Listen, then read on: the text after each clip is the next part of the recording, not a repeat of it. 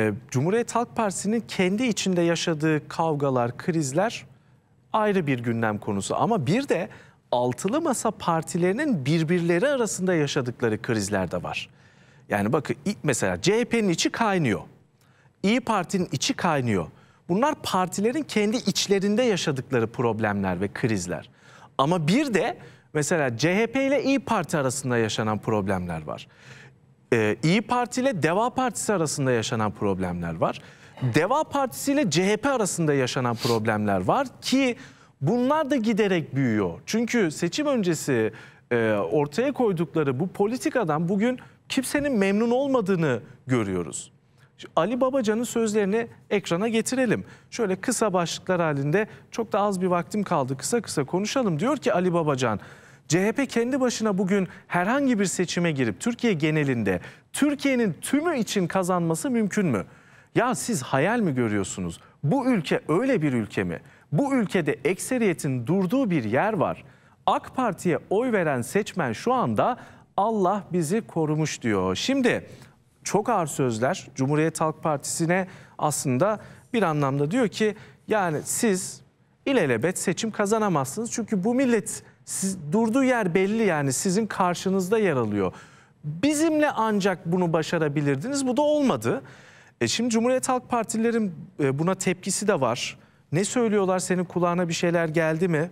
E, ben, benim benim Geldi. gördüğüm benim gördüğüm Erdinç e, Gürsel Tekin'in bir açıklaması oldu. Bir yayında soruluyor bu soru Gürsel Tekin'e. O da yazıklar olsun diyor.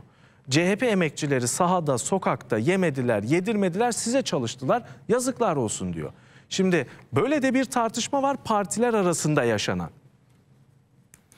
E, benzer ifadeleri kullanmadı belki ama hani böyle yazıklar olsun gibi e, bir ifadesi yok ama e, Kahramanmaraş milletvekili CHP Kahramanmaraş milletvekili e, Ali Öztuç eski bir gazetecidir. E, o da onunla bugün bir sohbet ettim. Mecliste meclis koridorlarında biraz e, yürüdüm. Odasına e, uğradım. Ne diyor bu tartışmalara CHP kanadında? Çünkü seçimlerin ardından görevinden de ayrılmıştı hatırlanacağı gibi. MYK'ya alınmamıştı Kılıçdaroğlu e, tarafından ve e, Engin Altay da destek çıkmıştı. Hatta neden neden almadınız? Çok çalıştık Kahramanmaraş'ta Ali Öztunç diye. Kahramanmaraş'ta CHP iki milletvekili çıkardı. Ama bir tanesi e, Deva Partili bir isim. Hemen Ali Öztunç'un arkasında ikinci milletvekili olarak çıktı ama e, Ali Öztunç'la konuştuğumda diyor ki e, Deva Partisi'nin Kahramanmaraş'ta bize diyor verdiği destek bin oyu geçmez diyor. Yani bizim oradaki başarımız sadece benim özelimdeydi diyor. Ben çok çalıştım. Hiçbir desteğini görmedim ben Deva Partisi'nin. Özellikle Kahramanmaraş'ta ve o bölgede e, diyor. Hatta bir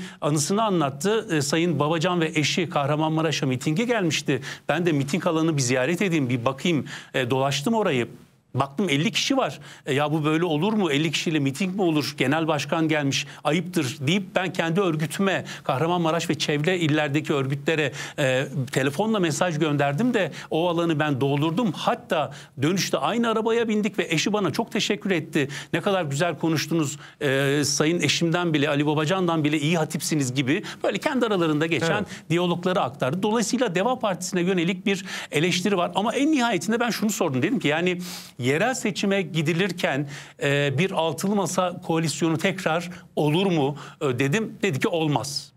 Yani büyük ihtimalle de olmayacak zaten. Dedi biz İyi Parti ile yapabiliriz. Ama dedi dedim ki İyi Parti ile de sizin aranızda hani e, e, pazarlıklar var. Örneğin bugün hani İstanbul ve evet. Ankara'yı CHP adaylarını destekleyelim. İzmir'de bizim adayımız olsun diye bu mümkün değil dedi. Yani İyi Parti'ye bunları vermemiz mümkün değil. Yani Adana'da dolaşıyordu. Adana isminin de şehir olarak hani Akşener'in yaptığı açıklamalarda e, İyi Parti adayının evet. desteklenmesi gibi Antalya'da e, hatta Muhittin e, Böcek yerine İyi Parti adayının desteklenmesi isteniyordu ama yani Ali Öztunç da diyor ki ne yapacağız yani diyor bu isimleri CHP'den istifa ettirip İyi Parti'ye mi kaydedeceğiz? Böyle bir şey olmaz. Zaten eğer böyle bir şey olursa da evet. buralarda seçimler kaybedilir diyor. Dolayısıyla İyi Parti ile öyle ya da böyle anlaşırız. Bazı ilçeleri, büyük ilçeleri onlara verebiliriz diye evet. söylüyor.